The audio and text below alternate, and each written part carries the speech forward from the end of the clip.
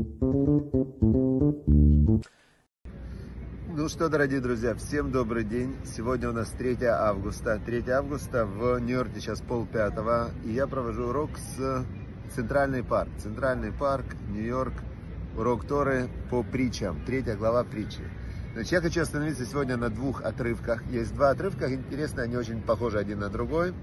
Один это шестой отрывок. Шестой отрывок, в нем написано так, что «Беколь драхеха деу, на всех своих путях познавай Бога, в у яшер архатеха, и он выпрямит твои дороги».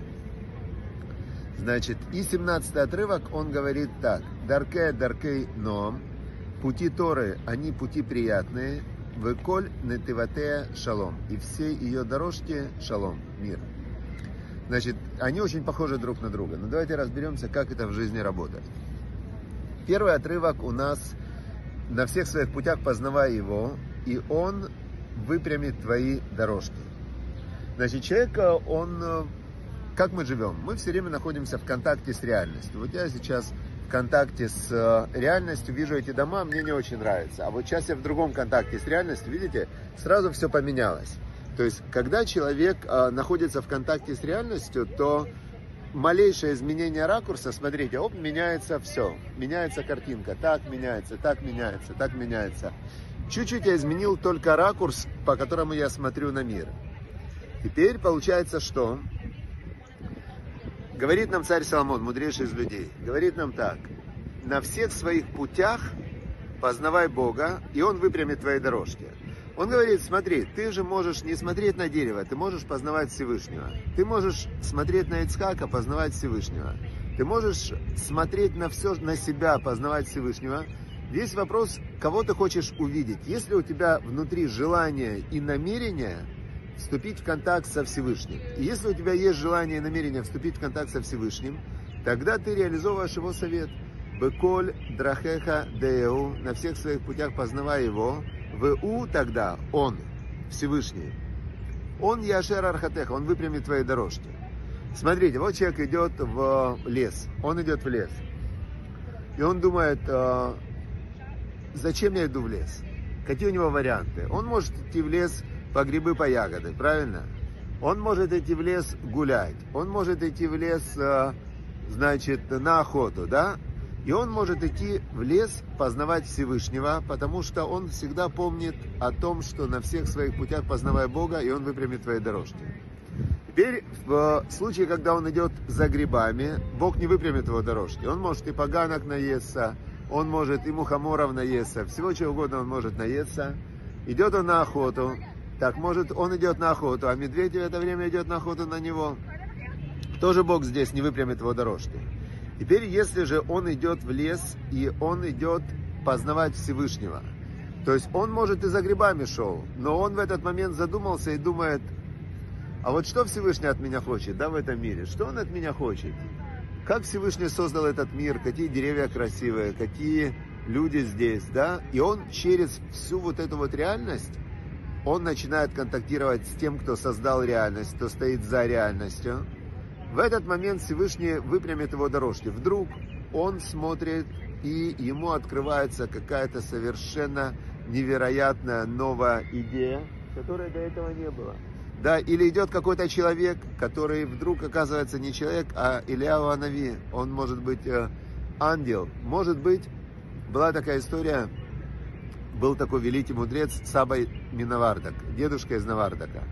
И он, значит, он в лесу сделал себе такую, такую маленькую хижину, в которой он уединялся от всех, и он в этой хижине, он э, учил Тору, он э, размышлял, он э, познавал Всевышнего. И как-то к нему пришли ученики, и он им говорит, если есть стопроцентная уверенность во Всевышнем, бетахон во Всевышнем, да, бетахон это уверенность во Всевышнем, Говорит, Всевышний для тебя все сделает. То есть, когда ты соединяешься со Всевышним, то ты как бы соединяешься с тем, кто создатель мироздания. И когда ты с ним э, попадаешь в резонанс, то ты сам становишься как бы э, фильтром, сквозь который он создает, Бог создает мироздание. И он им эту идею так рассказал, рассказал, рассказал, в это время погасла свеча. Они говорят, погасла свеча, нету свечей. Он говорит, если быть в резонансе со Всевышним, если верить полностью, всем сердцем, что Всевышний сейчас создаст свечу для тебя, Всевышний создаст свечу. И он, значит, прямо он это с таким воодушевлением сказал, и он выходит в лес, прям выходит там, и вдруг из леса, они вышли за ним, появляется какая-то фигура такая, да, какая-то вот прямо из леса непостижимая такая непонятная фигура, и, значит, пролетает мимо них, и Саба Миновардак стоит, это было больше ста лет назад, стоит у него в руках свеча. Значит, на всех своих путях познавай Бога, и Он выпрямит твои дорожки. Это первый отрывок, это шестой отрывок третьей главы. 17 отрывок третьей главы, он звучит так. Даркея даркей ном, пути ее, пути приятные, выкольны ты ватея шалом, и все ее тропинки, они шалом.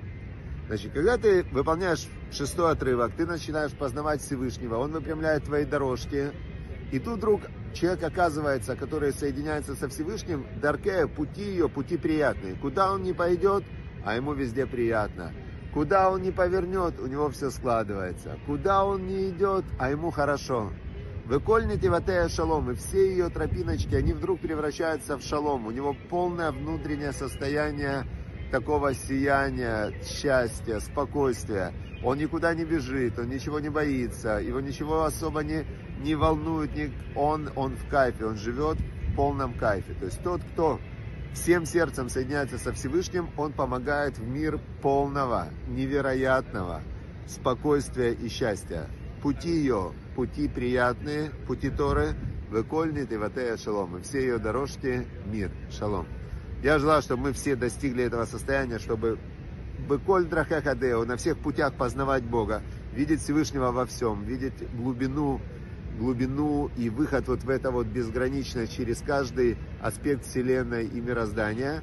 И тогда пути наши будут пути приятными, все наши тропинки будут шалом. Всем шалом, шалом. Шаббат шалом, уже завтра наступает шаббат. Здесь на 7 часов меньше, чем в Европе. Большинство слушателей наши в Европе. Поэтому вам шаббат шалом. Вы это видео посмотрите уже завтра. А я завтра с Божьей помощью постараюсь провести еще один урок. Все, всем счастливо. Шаббат шалом. И чтобы Всевышний, чтобы мы удостоились соединиться Всевышнего, и Он выполнил все запросы нашего сердца для нашего добра. Все, до завтра.